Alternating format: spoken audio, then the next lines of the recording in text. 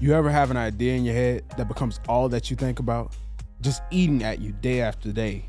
Well, that's what this is. For years, I've watched other teams get deep dives, and the Saints would rarely be featured. You ever seen that meme where Squidward was in the house looking down at Patrick and SpongeBob outside running around? Well, kind of like that. So, this series is going to be that a space for us to get out there and run around.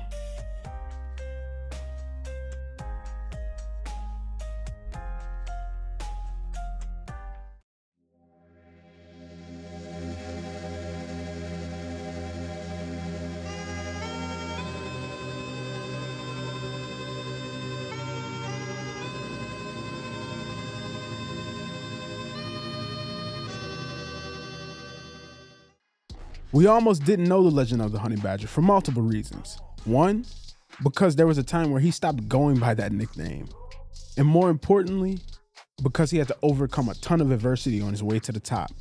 I asked Tyrann about why he dropped the Honey Badger nickname. I mean, for me, because I think people didn't really, like, they didn't really understand Tyrann. You know what I mean? Um, and then I think the Honey Badger just kind of had like this, um, you know, like this head of steam that, like, I, you know, I couldn't necessarily like stop if I wanted to. Um, but I just really wanted to kind of take a break. I didn't want people thinking that I was coming to the NFL because I wanted to be famous. You know, like I, I wanted them to know, like, man, I, I just want to play football. Like I don't care if you give me a nickname. I don't care if you don't call me anything. Um, I really just wanted that chance to kind of like let everybody know how serious I was about football. And I think when you have like monikers or you have like a brand off field, like coaches and, and management and, and, people that's making decisions, they could kind of look at you and say your focus may be on that. And I just didn't want to cloud anyone's judgment. But there's no longer any clouded judgment when it comes to who the Honey Badger is. Tyrann eventually reclaimed the name and established himself as a legend as he pieced together a Hall of Fame career over the past 12 seasons, on and off the field. But let's take a look at what it took to get there. This is The Legend of Ratel.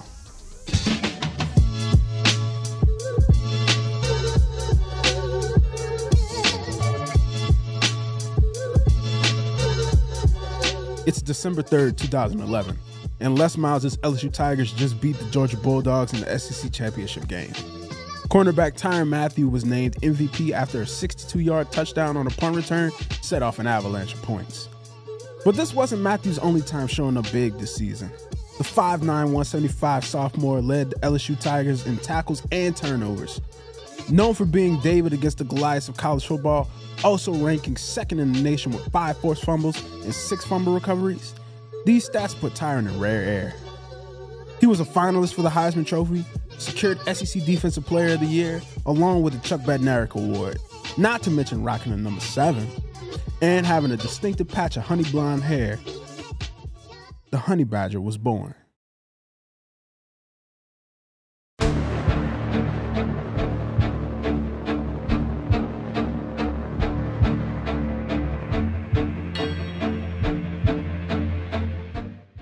I left out one key part about Mathieu's 2011 season.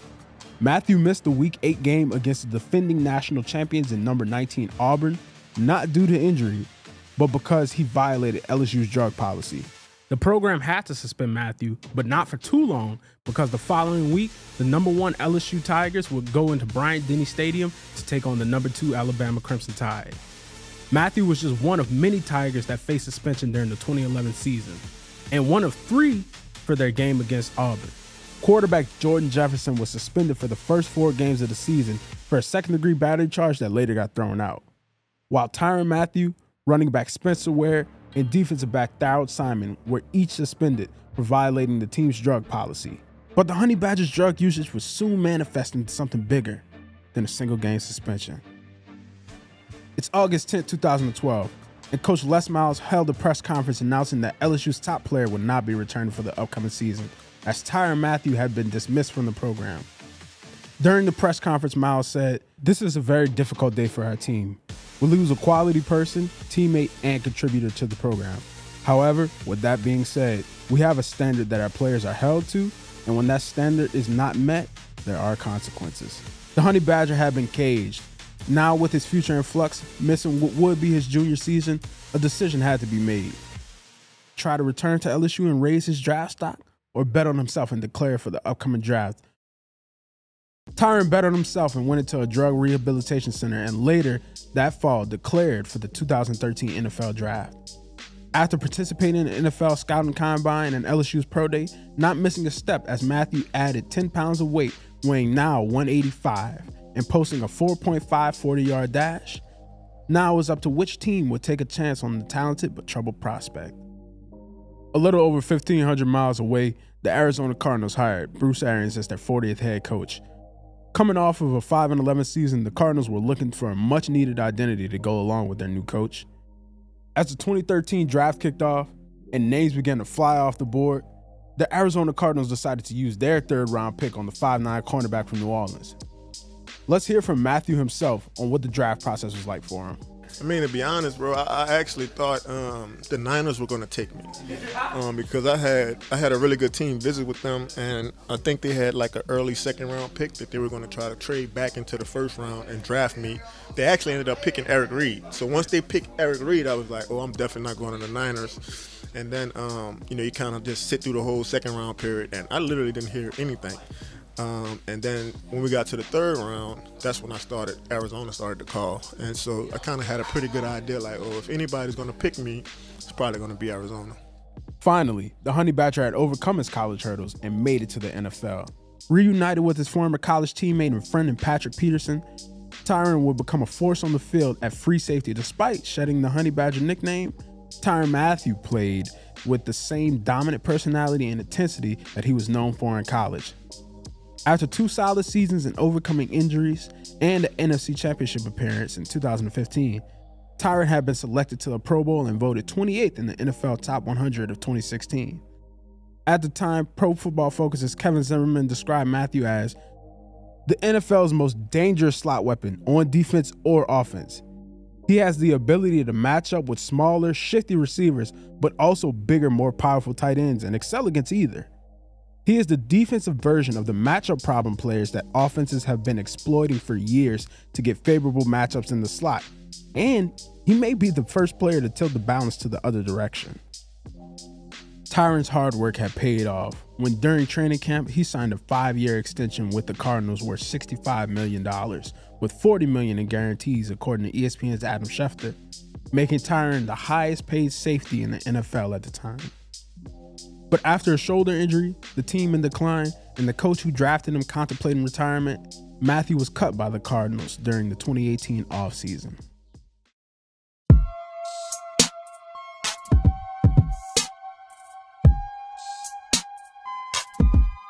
Three days after being released by the Arizona Cardinals, Tyrann found a new home, this time in Houston, signing a one year contract with the Texans, closing the gap from Mathieu to New Orleans from 1,500 miles to about 350.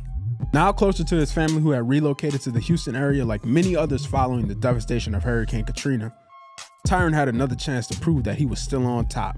In the first quarter of his first game in Houston, Mathieu picked off Tom Brady, starting off what would be his comeback season, starting all 16 regular season games, totaling 89 tackles, two interceptions, eight passes defended, and a fumble recovery. After the season, Mathieu expressed how he desired to stay in Houston, stating, I love the team, I love the locker room, I love the coaching staff, so hopefully the business side of it will take care of itself. But definitely want to be here, he told Texans.com. But Tyrann became a free agent once again, leaving the Texans in search of his next stop. Mathieu said of his time in Houston, I mean, Houston was good for me, man. Uh, you know, when I went there, obviously I was close, close to home, close as I've been, you know, in a while. Um, and you know, Bill O'Brien and them man, like they just let me be who I was, you know, as a player uh, and as a leader, and I respected that. Um, I mean, I was in a good locker room too. You know I mean, I had some good dudes around me, J.J. Watt, Whitney Mercilus, like a bunch of guys that um, like just really encouraged me and supported me.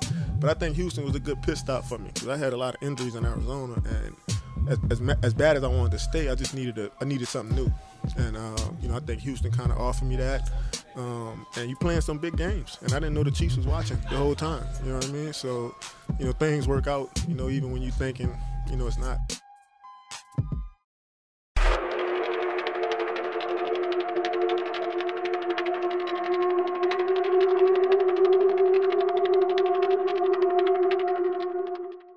Kansas City was watching Tyrann, watching him hone his skills as a player and as a leader. Mathieu signed a three year, $42 million deal with the Kansas City Chiefs, adding some force to an already dominant team coming off of an AFC championship loss. Mathieu gives some insight on being handed the keys to KC. I mean, it really was everything coming together. You know, I think when I went to Arizona, you know, I, I, it was Patrick Peterson's defense, right? And when I went to Houston, it was J.J. Watt's defense. And you know, when I go to KC, it was like, this is your defense, right? And so, um, just taking on that responsibility, man. Um, so, because I knew my whole career, that's really what I wanted. You know, I wanted to be the guy, you know what I mean, on the defense. I knew I was that type of player. And um, you know, when they when they gave me the opportunity, man, like you know, like I said, everybody kind of rally around you and support you, and um, I mean, it was, it was a good deal. During the 2019 season, Tyrann elevated the Kansas City Chiefs along with himself. He helped the Chiefs capture their second Super Bowl title, defeating the San Francisco 49ers, and also was named Team MVP on a roster with Patrick Mahomes, Travis Kelce, Tyreek Hill, and Chris Jones, just to name a few. Posting 75 tackles, 4 interceptions, 12 passes defended, and 2 sacks. Also finding his way back on the NFL's top 100 players list, being voted number 39. Over time, he started going by the Honey Badger once again, but he adopted a new nickname at Kansas City, the Landlord. During the 2019 season, he played some of the best football of his career. He played like rent was due. Mathieu told Yahoo Sports, I feel like the landlord, he governs the entire field. Like it's not so much about him reacting, it's about him understanding what's really going on. I feel like landlords understand that, and their tenants don't always know how the building is built, but the landlord does.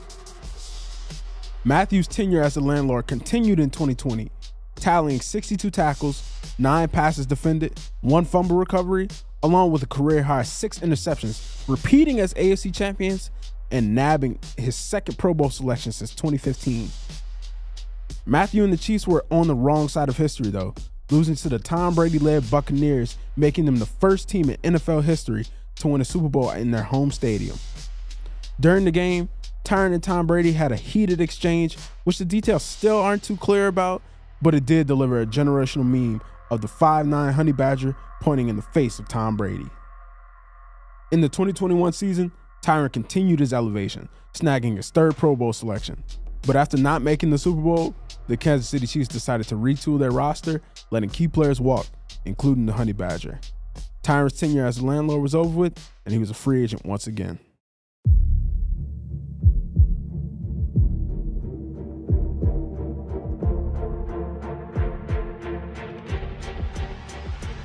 Back on the free agent market and not knowing where his next stop would be, Tyrann explored his options and returned to New Orleans.